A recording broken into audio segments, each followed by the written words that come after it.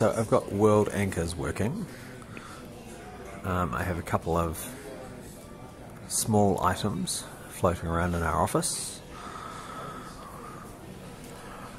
which once we get past the loading should work. Right, so up over here we've got a big present, which I can click and move around. It's stuck to the walls at the moment. Uh, I'd like to be able to get the dragging moving like I did on my other experiment. But I can lock that into a wall as such. I come back and pick it up and move it again anytime I like to anywhere. The occlusion's mostly working. Sort of. Right, over here I've got another object which I can't move. And this is keyword unlock. Bye. Which now allows me to click and drag.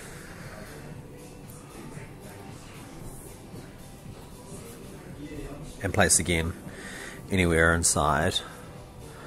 Obviously the mesh over there is a whole lot better than it is in this part of the room.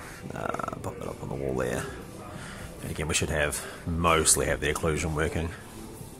Ooh, shaking. So I can now pick that up and move it closer. Uh, and now when I'm finished with it, I say lock. And it's not going to. Lock. Now it won't move.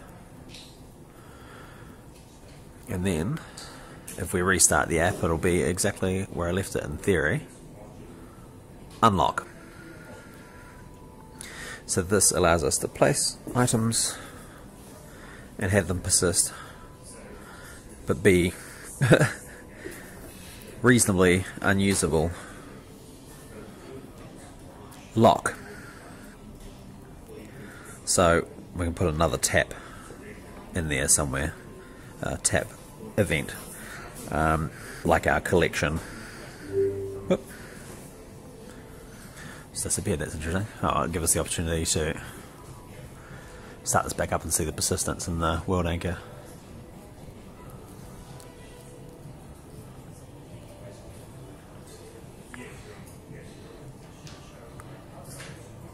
Right, this is our gift right where we left it. And down here's our sphere right where we left it. And when it starts, it's uh, locked into the world so nobody can do anything with it. Um, so as I was saying before, if we tie up a script that allows us to add that to the inventory or what have you. That totally solves our collection throughout the maze. Unlock.